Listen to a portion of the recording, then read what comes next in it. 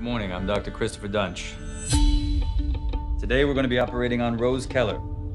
Patient presented with severe back pain diagnosed as a herniated disc. It is important we are in and out with as little fanfare as possible. So, mouth shut, ears open. Let's begin. Hey, doctor. I heard you came across some of Christopher Duntsch's surgeries. Sir, there's a lot of bleeding. Focus on your job. How is the patient? Perfect. There's a hemorrhage here, you need to fix it.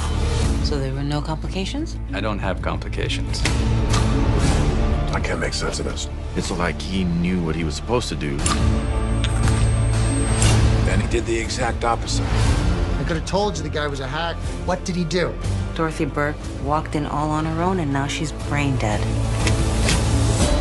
Today we will be minimally invasive. He turned him into a quadriplegic.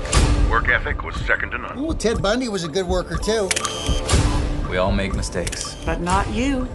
No man. Duntsch has two deaths. Texas has executed people for less.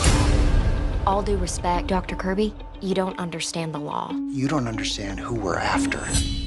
Duntsch is never going to stop on his own. You have to protect the public and suspend his license.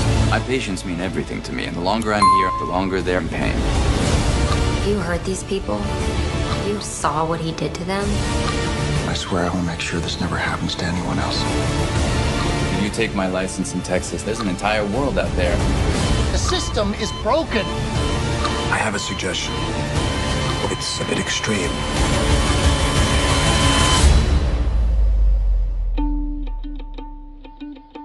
He's either the most incompetent surgeon I've ever crossed paths with, or he's a sociopath.